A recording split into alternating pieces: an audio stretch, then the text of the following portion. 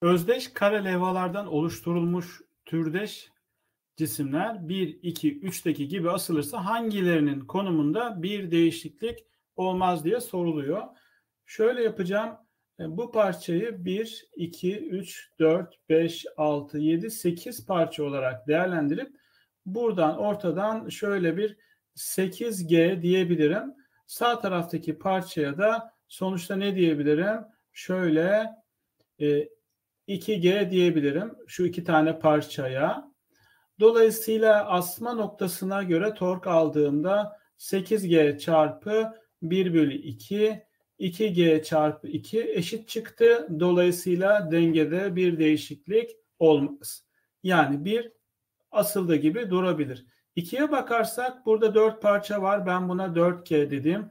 Sağdakinde de 2 parça var. Buna 2G dedim. Yine e, asılma noktasına göre 2G çarpı 1 4G çarpı 1 bölü 2 gene eşit çıktı. O halde bu da bozulmaz.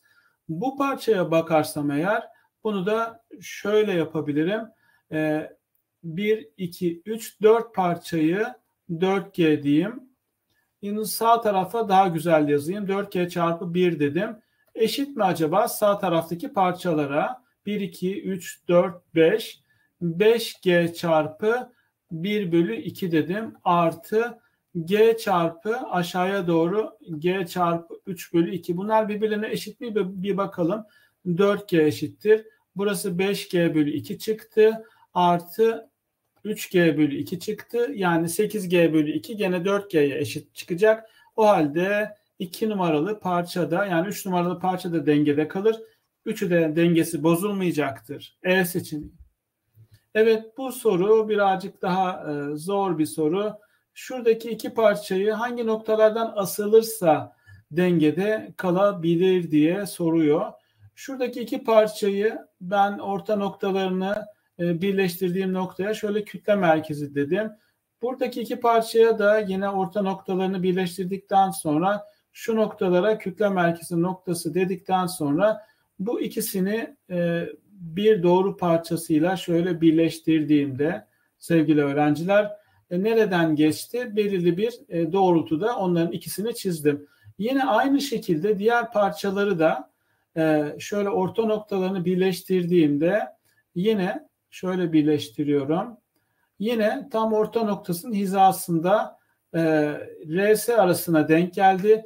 Diğerleri de gene RS arasında bir noktaya denk geldi. Dolayısıyla ben eğer bu doğrultuda RS arasından yukarı doğru astığımda tavana bu parça sağ tork ve sol tork değerleri birbirine eşit olacağı için dengede kalabilecektir.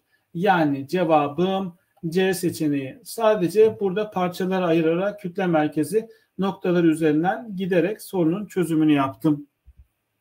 Evet bu soruda eşit bölmeli kare yatay düzleme şekildeki gibi yerleştirilmiş kütlelerin ortak e, kütle merkezin O noktası olabilmesi için işlemlerden hangileri yapılmalıdır diye soruyor. Şimdi ben 6M ile 3M'yi birleştireyim. Şöyle aşağıya doğru indiğimde şöyle iniyorum aşağıya doğru. Ne tarafa doğru yakındır? Ee, sonuç olarak burada yakınlık noktası hangi nokta olacaktır? Burada ben 9M olduğunu hayal ediyorum ve 9M ile artık 9M'yi tam orta noktası olan şu nokta şöyle yapayım. Her ikisinin ortak kütle merkezidir ve bu nokta artık 18M olarak yazabilirim bu noktaya. Peki K noktasına 12M e, yerleştirir isem e, sonuçta ve e, M noktasına da 6M yerleştirirsem 12'ye 6M'yi yerleştirdiğimde bakın bu nokta bu nokta buraya 12 yerleştirdim 12M. Buraya da ne yerleştirdim? 6M yerleştirdim. O zaman buradaki noktada 12'nin altının ortak kütle merkezi olabilir ve burası 18M'dir. 18M'nin O'ya olan mesafeleri de kök 2 birim kadar olacağı için yani K noktasına 12, M noktasına 6M yerleştirme değerimiz doğru bir işlem olabilir. Yani e, O noktası olabilecektir. Birinci ve ikinci yargılardaki işlemler yapılırsa. Peki L noktasına 18 yerleştirilirse işte o olmaz çünkü olabilmesi için L noktasının da O noktasına olan uzaklığının da yine e, yukarıdaki 18 ile yine kök 2 birim kadar olması lazım. Ama L noktasının O noktasına olan mesafesi 2 kök 2 olduğu için bu olmaz. 1 ve 2 olur. Yani yanıtım 3. soru B seçeneği. Dördüncü soru K, L ve M cisimleri asılmış. Eşit kalınlık ve yüzey alanına sahipler. Kendi içlerinde türdeşler. Levaların kütleleri MK, ML ve MM olduğuna göre hangileri kesinlikle doğrudur diyor. Ortak kütle merkezine baktığımız zaman ayrı ayrı incelediğimizde sevgili öğrenciler sonuçta e, K'nın L'den e, büyük olduğunu L'den büyük olduğunu görüyoruz. E, ancak L'nin M'den büyük olduğunu e, bilemeyiz. Çünkü onu yazmadan evvel bir tork işlemi yapalım. Yani ipin doğrultusuna göre bir işlem meydana getirdiğimizde MK eşittir ML artı 3 MM olarak yazabilirim. Çünkü burası 1 bölü 2'dir. Burası da 1 bölü 2'dir. Burası 3 bölü 2'dir. Dolayısıyla genişletirsem eğer buradaki eşitliği bulmuş durumdayım. Yani K'nın L'den kesinlikle büyük olduğunu görebiliyorum. Ama L ile M arasında bir ilişki kuramayım, kuramam çünkü eşitliğin sağ tarafındalar. Dolayısıyla bu yanlıştır. Peki K L ile M'nin toplamı mıdır? Hayır. K L ile M'nin 3 katının toplamıdır. Kesinlikle doğru ol, olamaz. Ee, ola e, olabilecek tek şey, kesinlikle doğru olabilecek tek şey K'nın L'den büyük olduğudur. Yani kesinlikle doğru olan sadece A seçeneğidir. Evet bu soru dairesel bir levhamız var ve tabana asıldığında şekil 1'deki gibi dengede kalıyor. İp kesilerek cisim yatay düzleme bırakıldığında levha şekil 2'de gösterilen 1, 2, 3 konulardan hangileri şeklinde dengede kalabilir diyor. Bir kere kütle merkezimiz AC hizasındadır. AC hizasında olduğu için B noktası AC hizasına yer, yer aldığı için de sonuçta dokunma noktası nereden geçer? Dokunma noktasının dik hizasında B noktası olabilir. Yani e, bu nokta e, da bu şekilde dengede kalma e, şansına sahip.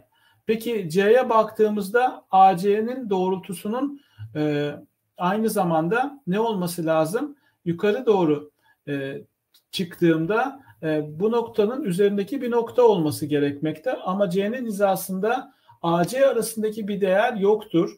Sonuçta O'ya doğru gittiğimde AC doğrusunu üzerindeki herhangi bir noktadan geçemiyorum. Yani iki numara olmaz. Yine aynı zamanda yine 3'e baktığımda yukarı doğru çıktığımda sonuçta bunun hizasında yine AC üzerinde bir noktadan geçemiyorum. 3 de olmaz. O halde sadece birdir. Yalnız bir cevabım A seçeneğidir.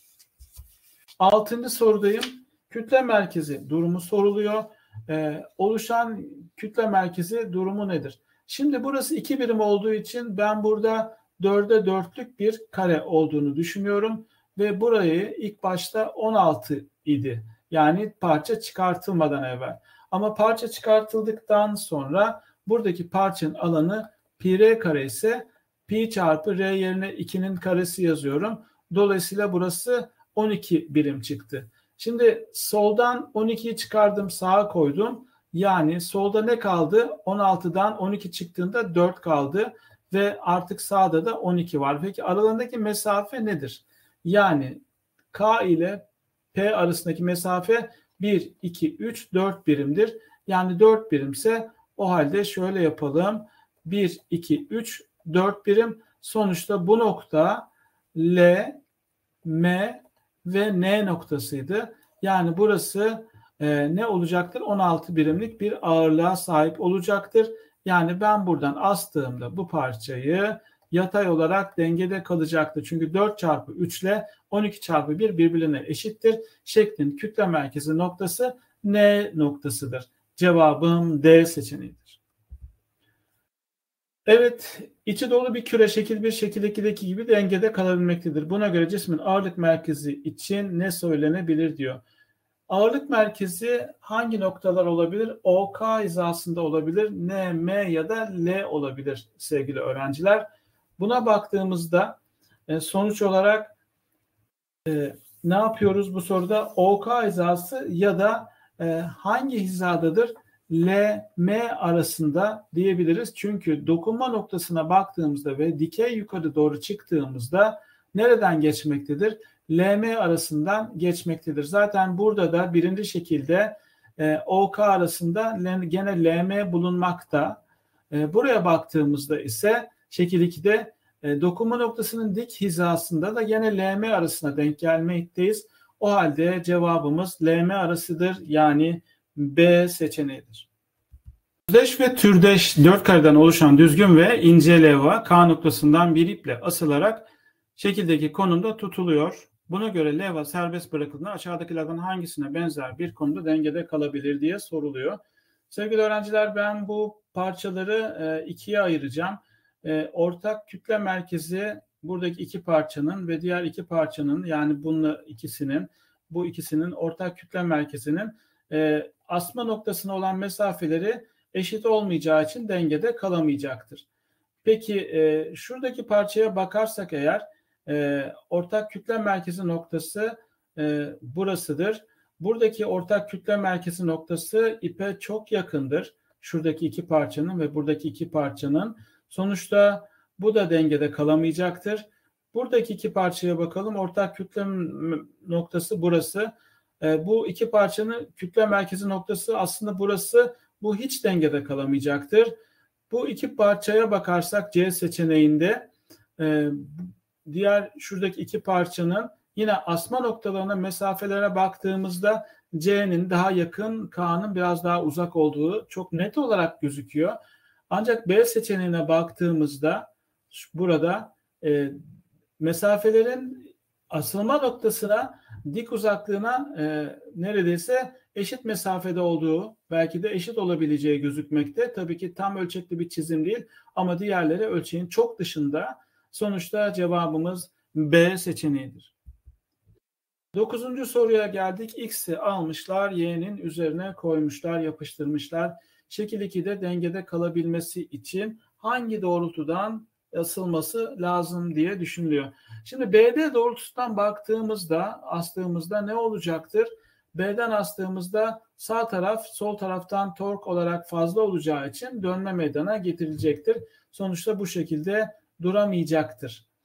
Yani cevabımızda e, eğer A'ya A'dan astığımızda e, sağ taraftaki torkla sol taraftaki tork birbirlerine eşit olabilecek. Aynı zamanda C'den de astığımızda yine sağ taraftaki torkla sol taraftaki torklar birbirlerine eşit olabileceği için dengede kalabilecektir. Yani bu sorunun cevabı A ile C diyebiliriz. E, cevabımız C seçeneği. Son soruya geldik. E, o noktasından perçinlenmiş eşit kalınlıkta üçgenler var. K ve L level'ı şekildeki gibi dengededir diyor. Kütle merkezi noktası tabana e, ne kadarlık mesafede? Bir birimlik mesafede. O halde sonuçta şöyle aşağıya doğru yazdığımızda, gösterdiğimizde e, bunun e, eşitini şöyle yazabiliriz. O noktasına göre bir yazalım. GK çarpı 2 dedim. GL çarpı 1 dedim. Bu eşitliğin sağlanabilmesi için e, K'nın öz kütlesi DK, e, L'nin öz kütlesi de DL olursa e, mesafeler 2'ye 1 ise o zaman öz kütle oranları da sonuçta ne olması lazım? L'ne 2D dersem K'ya da ne diyeceğim? E, D diyeceğim ki 1'e 2 oranına bakarsam eğer DK bölü DL'ye baktığımda sevgili öğrenciler D bölü 2D çıkacak. Yani o da 1 bölü 2 çıkacak. O halde DK bölü DL oranı da 1 bölü 2'dir. Yani yanıtım B seçeneği. Bir başka videoda görüşmek üzere. Sağlıcakla kalın.